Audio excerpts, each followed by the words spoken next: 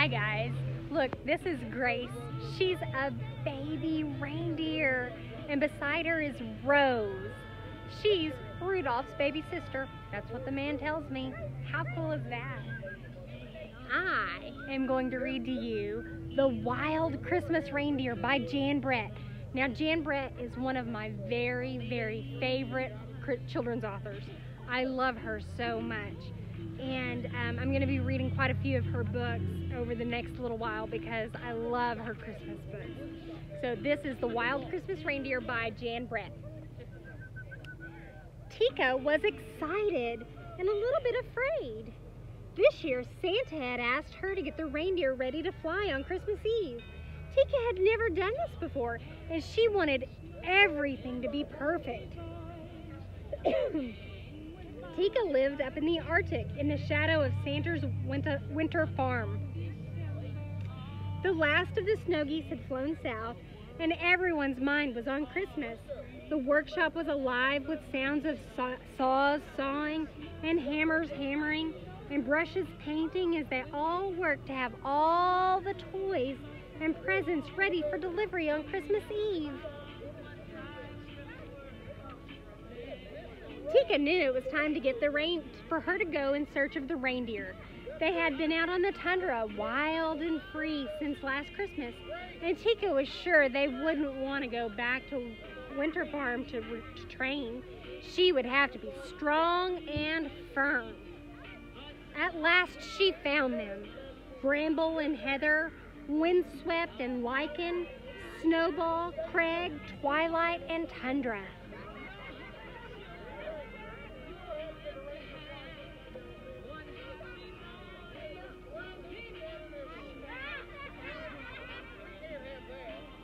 Teeka took a deep breath and shouted, Let's go! Move, move, move! The reindeer were bewildered by Teeka's voice. Their heads went up to see who this loud creature was. But they let her herd them together and headed back towards Winter Farm. Tundra gave her the most trouble. Teeka didn't know that he considered himself the leader and was not used to being bossed around. He liked to stay next to Twilight, but she got separated from him and was running near the front. When they got to the barn, Teeka put them in different stalls. Tundra snorted impatiently.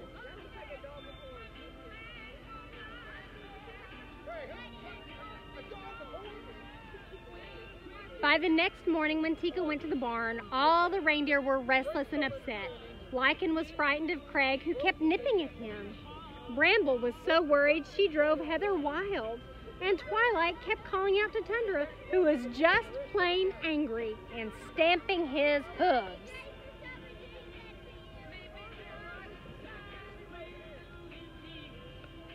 Teeka groomed each reindeer. She wanted them to look sleek and glossy for Santa. One by one, she brushed and combed their coats and pushed and pulled at their tangled manes. She brushed so long and hard that their ears started to turn pink.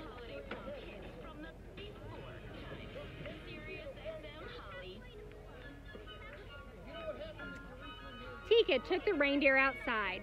Now she was ready for the real training to begin. Snowflakes danced in the air as she tried to stand them in two lines and put on their harnesses but they wouldn't stay lined up. She had put Tundra at the back with Heather instead of at the front with Twilight. So he kicked out at Heather, who then bolted into Bramble. Teeka scolded each reindeer. Don't move, she cried.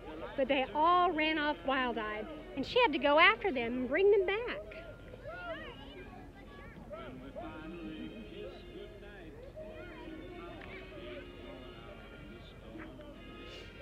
The next day, Teeka harnessed the reindeer in the barn before taking them out in the snow. Everything went right until she got them lined up outside and tried to steer them first to the left and then to the right. To make the sleigh fly, they would need to pull together smoothly, but everything went wrong. Tundra crashed into Heather, Snowball blew up at Bramble, Windswept knocked over Twilight, and then Lichen locked antlers with Craig. Look at the baby reindeer.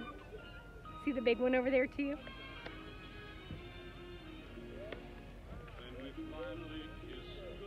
Stop! Teeka cried as she watched the reindeer paw the air. Unhook! she shouted as they tried to free their long antlers. Then Lichen and Craig fell over in the snow. The harder they pulled, the more their antlers locked. The reindeer were frantic, and Teeka only made it worse by yelling at them.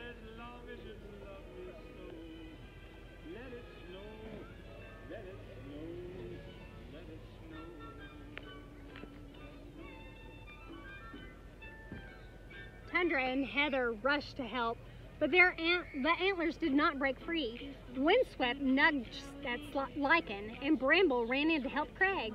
But the more they tried to help, the more they got tangled up themselves. Their necks strained and their muscles bulged, but their antlers did not move. Teeka wailed, Oh, please, it's almost Christmas Eve. But the reindeer could not move. A frosty silence hung in the air.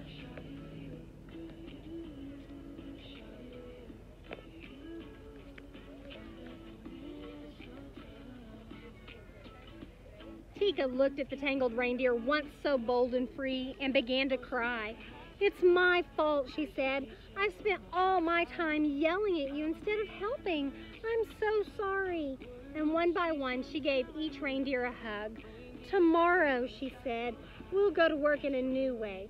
No yelling, no screaming, no bossing. I promise. Let me try to help you get free.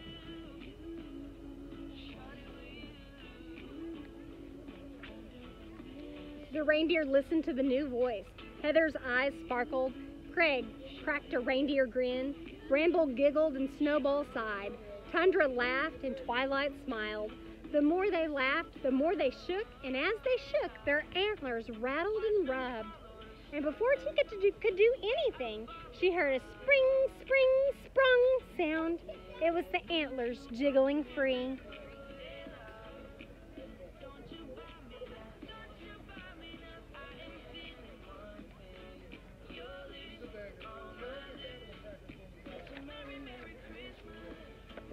Quietly, Teeka led the reindeer back to the barn.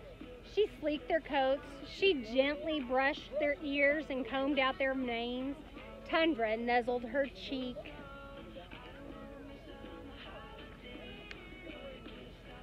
The next day, the reindeer lined up in two lines, ready for the harnesses, and Twilight and Tundra leading the line. They practiced turning left and they practiced turning right. Teeka directed them softly. Tundra pulled for Twilight. Bramble was gentle to lichen, Windswept helped Heather, and Snowball nestled against Craig. Together they practiced long and hard. They didn't notice it was getting dark, and they almost didn't hear a jingle in the distance. It was Santa standing by the sleigh piled high with presents and ready to go. Now the reindeer were ready too, and Teeka led them to the sleigh. Santa smiled and nodded his thanks. Then he climbed aboard and waved to Teeka, who watched as the wild reindeer rose up together and carried the sleigh off into the night.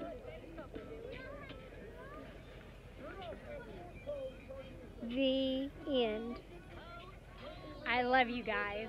I'll see you later. Bye, reindeer.